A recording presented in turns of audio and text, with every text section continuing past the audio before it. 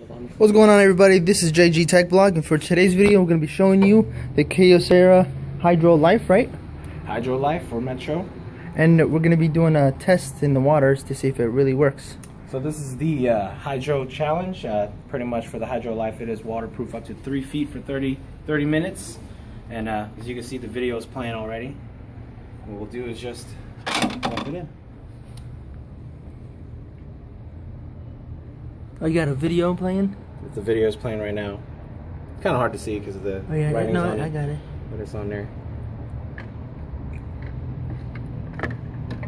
No case, nothing. It's just a phone. Still runs. Shake it off real quick. Dry it up real good. Video still runs. Oh wow. Can you go to home screen? Yeah, dry it up a little quick.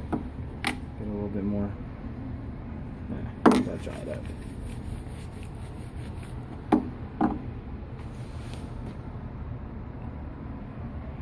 There you go. Still functioning, everything's still working. There you go guys, that's the Hydro Life from Metro PCS.